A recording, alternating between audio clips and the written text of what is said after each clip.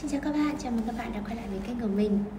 Chúng ta đang cùng nhau đi thực hiện uh, siêu tầm một, uh, một bộ bộ siêu tầm những cái uh, phương tiện giao thông đúng không nào? Và hôm nay thì mình sẽ cùng với các bạn cắt thêm một chiếc máy bay nữa nhé Chúng mình dính vào trong bộ phương tiện giao thông này. Và mình đã tìm được một chiếc máy bay hình một chiếc máy bay rất là xinh. Này Đó, đây, chúng ta sẽ cắt chiếc máy bay thăng ra nha các bạn sẽ phải chuẩn bị cho mình đó là kéo thủ công cũng như là băng dính hai mặt nhé và phía đầu tiên chúng mình phải khéo léo để cắt rời cái hình máy bay ra khỏi quyển vở nha. Ừ, chúng ta sẽ phải cắt rời à, chiếc máy bay này ra nhé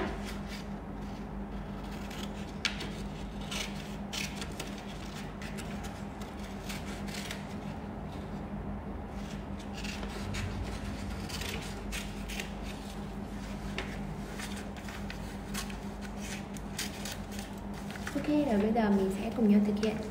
Cắt theo cái đường viền của chiếc máy bay này nhá. Các bạn nhớ là cầm kéo tay phải và cầm bằng ba đầu ngón tay. Đó là ngón cái, ngón trỏ với lại ngón giữa của tay phải nhé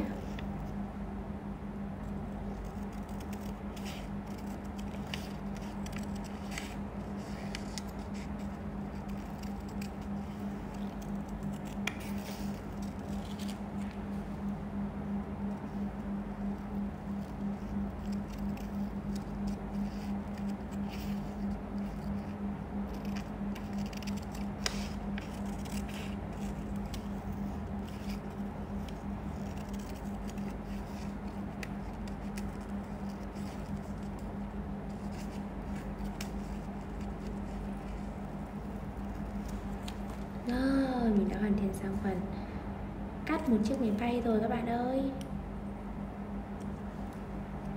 Đây.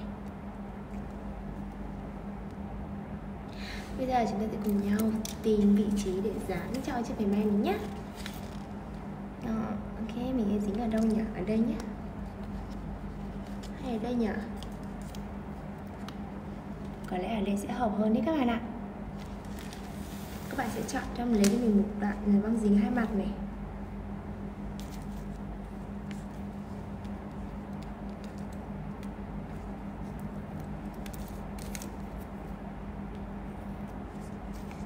Tiếp theo thì chúng mình sẽ dính ở đằng sau của máy bay này.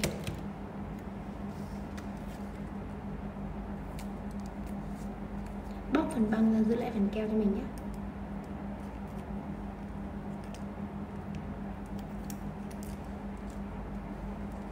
Ok, và bây giờ chúng mình sẽ dính vào bộ sưu tập nha.